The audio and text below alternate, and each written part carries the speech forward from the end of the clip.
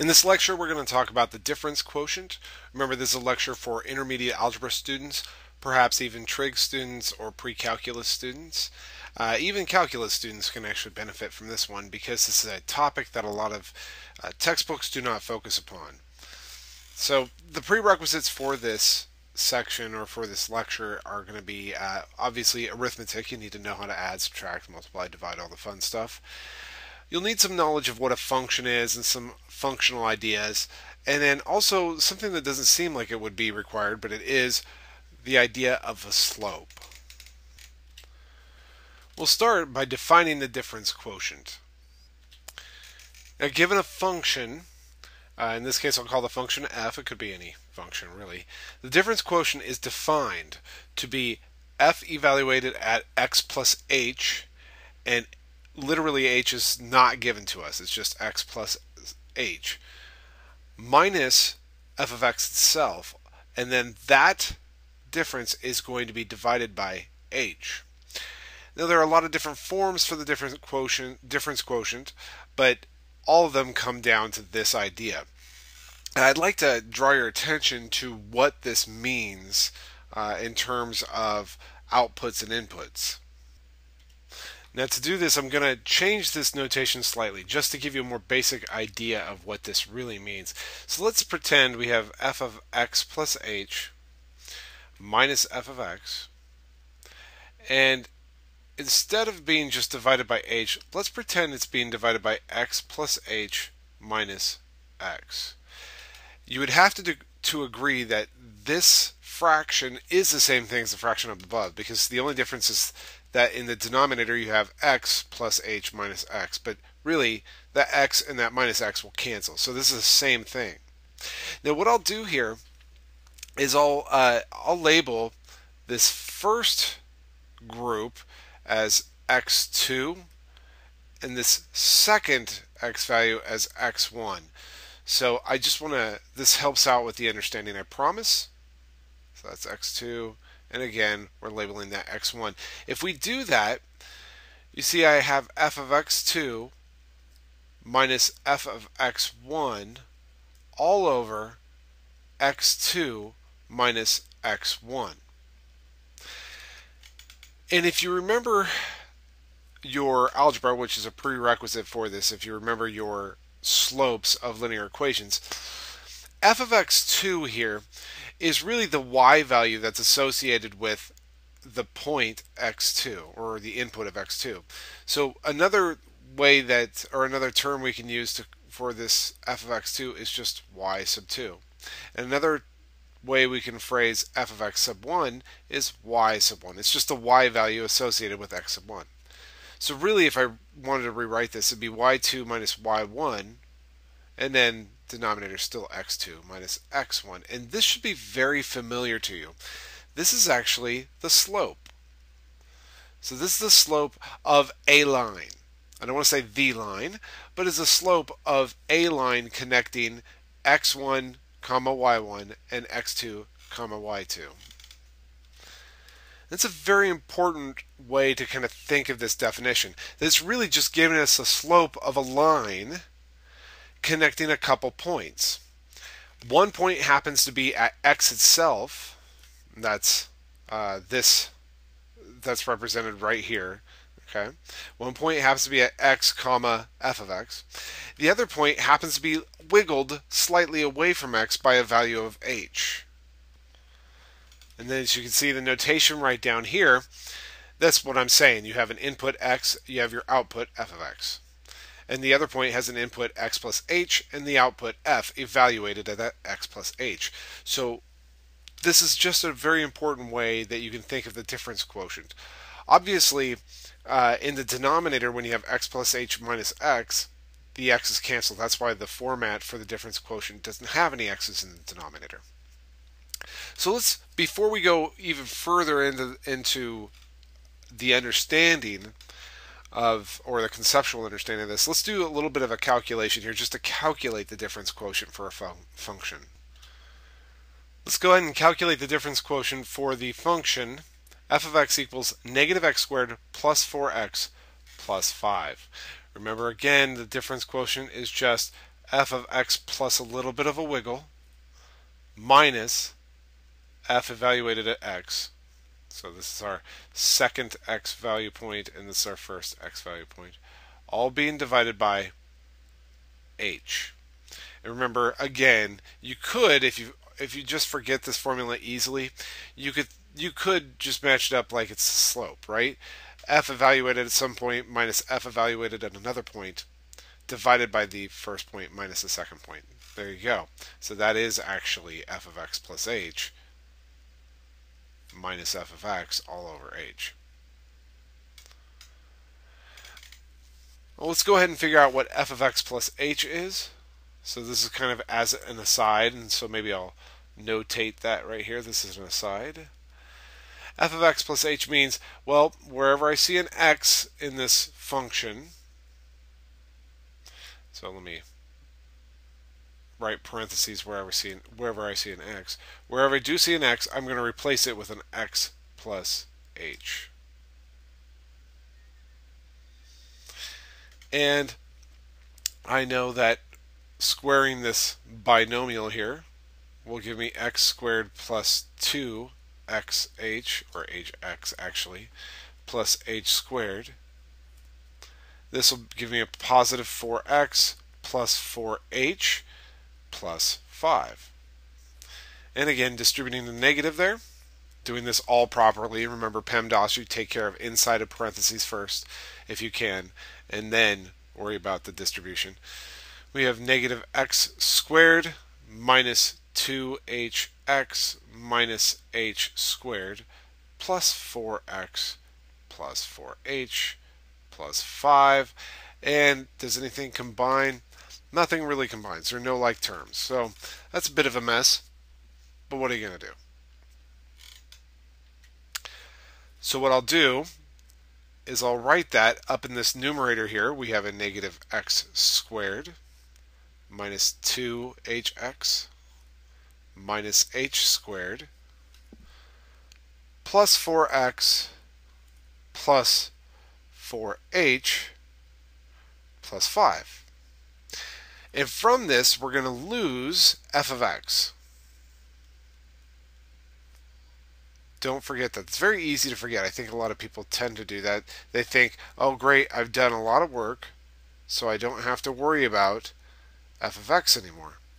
Or they just kind of forget about it. The fact is, this chunk right here is just f of x plus h. And of course, we're losing this f of x. I'll bridge this gap here by swinging this on down here. This equals. Uh, I got a negative x squared minus 2hx minus h squared plus 4x plus 4h plus 5 plus x squared minus 4x minus 5. That was me distributing that negative uh, in that last little bit. Now we're going to combine like terms in the numerator. I have a negative x squared and a positive x squared, so those two cancel out. I'll just highlight those so you see the ones that, that are going to cancel out. Uh, I have a positive 4x and I have a negative 4x, so those cancel out. I have a positive 5 and a negative 5, so those will cancel out as well. So what I'm left with is a negative 2hx minus h squared plus 4h, all being divided by h. To be proper with my algebra, I'm just going to say each of those terms in the numerator have an h in common, so I can factor an h out. I'll be, left with a negative 2x minus h plus 4 all over h. And now you can cancel like factors, right? So this will turn into a negative 2x minus h plus 4. That is the difference quotient. It seems like a lot of work, but actually it's just a, a lot of busy work, an algebra busy work and it comes out to a decently nice answer. Now, your answer should usually have, uh, or maybe I shouldn't say should usually have, your answers may have X's or H's or both. Okay, it also might not have an H, it might not have an X. So that's just something to note, um, but it's nothing wrong if you have X's and H's in your answers here. Now let's actually interpret the meaning of this. If this is the slope, if this represents, um, maybe I should note that here, this is the slope because it, the difference quotient, as we mentioned earlier, is just a slope between x and x plus h. So between x comma f of x and x plus h comma f of x plus h.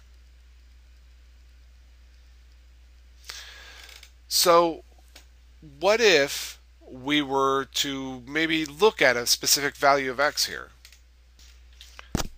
Like, for example, a negative uh, 1 half.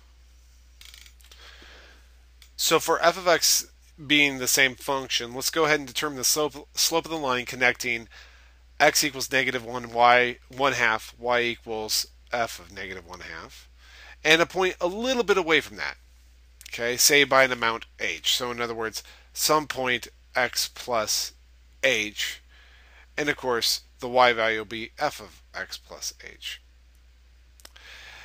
Now, if we already know quite a bit about, or you should at least know quite a bit about functions and graphs and stuff like that. So you should know that this is going to be a parabola when you graph this out. But I'm not asking you, you know, um, you can't find the slope of a parabola. That doesn't work. You can only find slopes of lines. So I'm asking you specifically to find the slope of a line connecting two points that are on that parabola. And you had just found out that the difference quotient f of x plus h minus f of x all over h ended up being negative 2x minus h plus 4. Now, if I want you to calculate the slope uh, between these two points, it's given by this expression right here. So let's go ahead and figure it out. When x is uh, negative 1 half, we get the following. The slope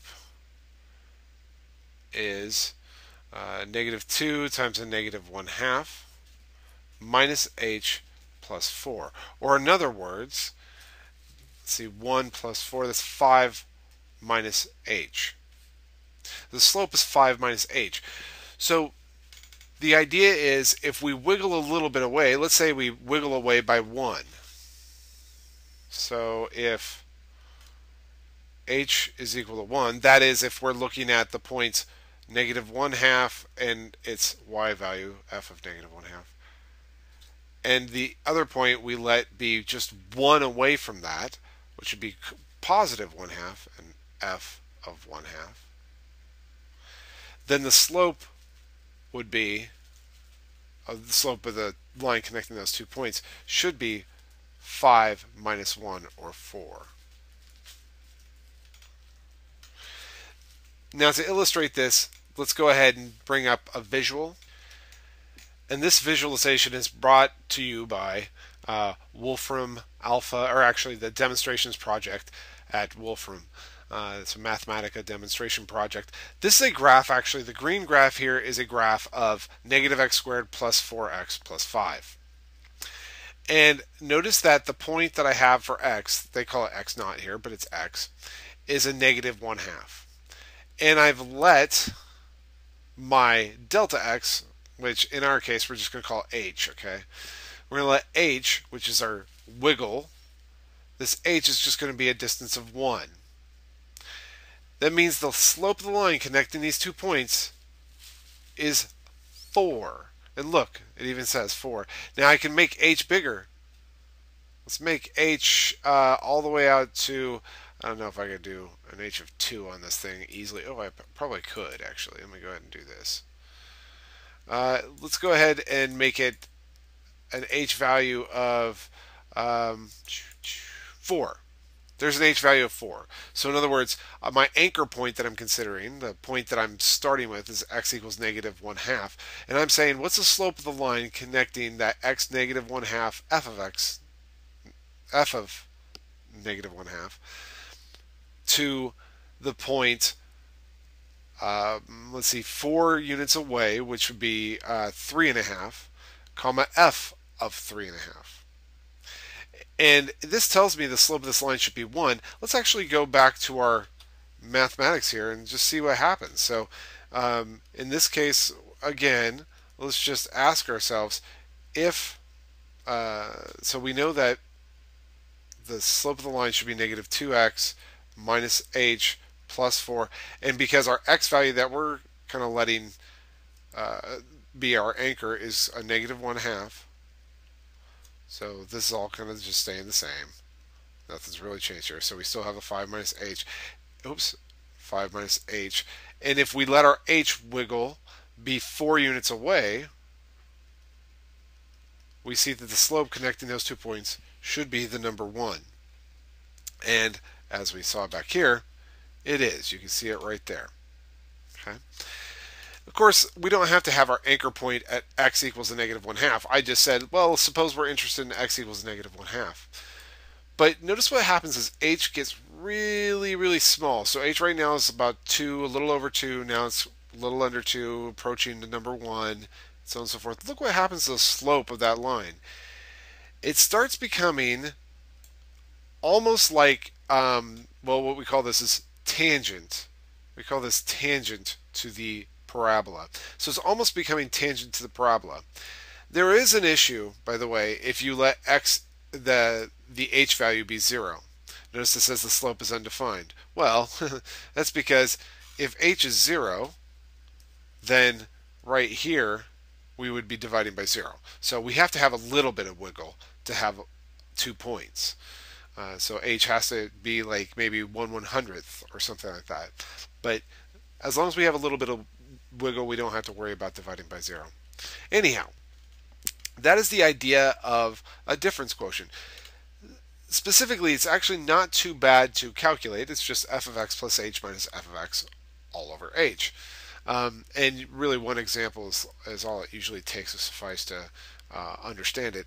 But I want to go a little bit further and have you really understand the concept of uh, of the difference quotient. It's essentially the slope of these lines at for every given value of h and every given value of x. Okay? So I'm changing the x values and I'm changing the h values. And you can see there's all different slopes happening. So swallow that. That's the basis, by the way, of the first year calculus course, which is called differential calculus.